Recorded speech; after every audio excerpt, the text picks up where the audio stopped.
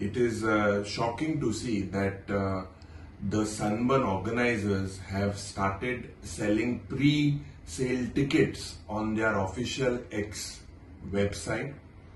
And it is uh, shocking to see the deafening silence of the Honorable Chief Minister. Uh, he has not yet opened up on Sunburn being organized in South Goa.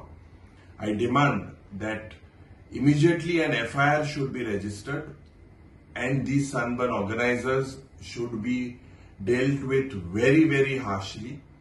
Uh, traditionally, they organize it in the North Goa, but we will oppose this sunburn concept in Goa altogether. We do not require sunburn in Goa.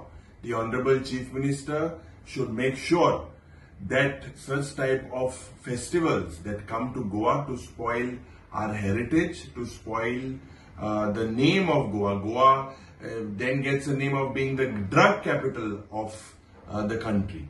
And I request the Honorable uh, Chief Minister and his party not to take revenge of the Lok Sabha defeat on the people of South Goa.